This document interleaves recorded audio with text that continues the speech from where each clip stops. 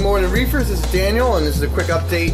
Um, just wanted to show you guys the BRS reactors. I have one hanging on the tank right now. Here is my dosing system. I had to go through and add new hoses and kind of clean everything up. Um, calcium, alkalinity, and magnesium tend to get a little messy if you let it. So it's nice to keep your stuff clean. Your hoses will get hard over time. So I'm lucky I have Pauline helping. Hi guys. She's making alkalinity for the dosing because I go through a lot in my system and I only actually have a gallon jug. So you have to keep on top of those things.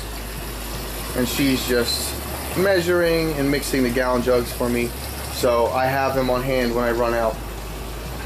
And this is the other dosing system I just set up.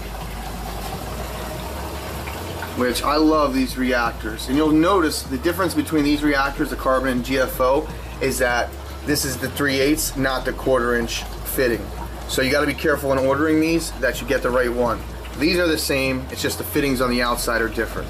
So, and I just recently realized when you're dosing in your tank, you wanna have these hoses in the water. I was dripping them and they kept solidifying and clogging the tube. As they would drip, they were splashing and getting mixed with some water. So right now, this is how I have everything set up. My alkalinity, calcium, magnesium. Um, yeah, that's pretty much it for now.